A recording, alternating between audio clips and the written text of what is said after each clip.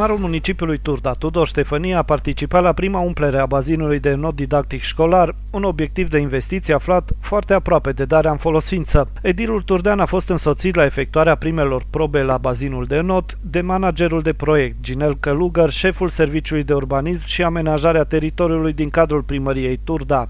Ne aflăm din nou într-un moment foarte bun. Iată că ne-am ținut de cuvânt. Bazinul de not poate fi deschis într-o perioadă imediat următoare, doar câteva probleme organizatorice, structura de personal, probele de apă, autorizarea, Știrizarea? știrizarea. Deci, chestiuni de zile.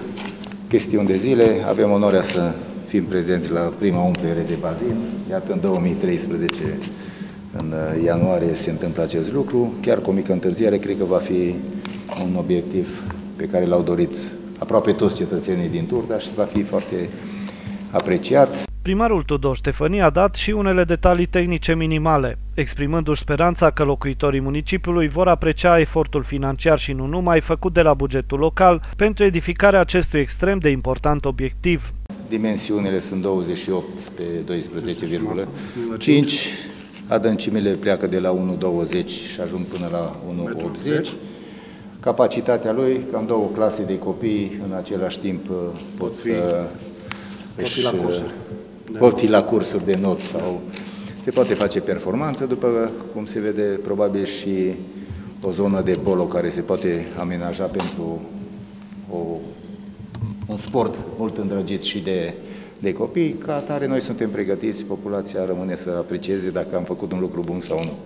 Le mulțumesc uh, încă o dată tuturor celor care au colaborat, în special colegilor mei din instituție.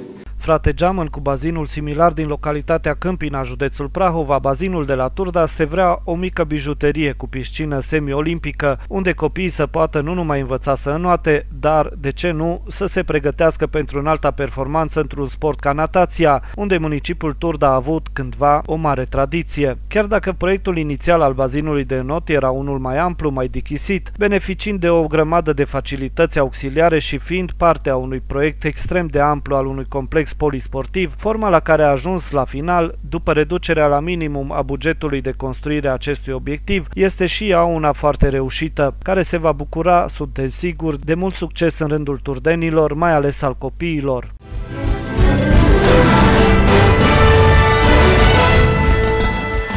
În urma atacurilor repetate inițiate spre sfârșitul anului 2012 asupra mai multor domenii din România, printre care și domeniul primăriei Turda, firma care se ocupă de buna gestionare a site-ului acesteia a luat decizia de a muta baza de date pe un server care garantează siguranță și securitate superioare. Cu aceeași ocazie a mai fost făcută o modificare, astfel că vechea adresă www.primturda.ro a devenit www.primariaturda.ro Echipa de informaticieni monitorizează și securizează permanent site-ul pentru a preîntâmpina noi astfel de incidente. La finele lunii noiembrie 2012 au avut loc mai multe atacuri asupra unor servere din România de tipul DNS Redirection. Asta înseamnă că atunci când un utilizator dorește să acceseze o anumită pagină de internet, este direcționat spre un site care aparține atacatorului și pe care sunt postate diferite mesaje sau imagini. Administratorii site-ului primăriei menționează că nu au fost afectate datele, informațiile integrate în cadrul site-ului.